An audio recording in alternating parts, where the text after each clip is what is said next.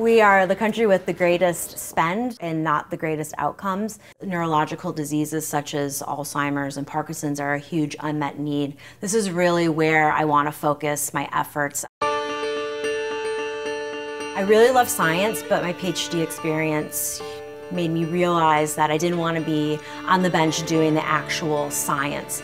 But I really was interested in the commercialization and the development of drugs to really have an impact on human health. I've had the Blavatnik flyer on my cork board since I think they had club day here first year.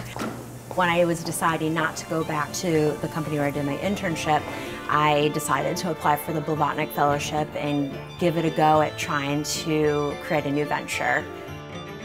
What I hope to accomplish during the Blavatnik Fellowship is to identify the technology, license it, and in that time, you know, raise some money.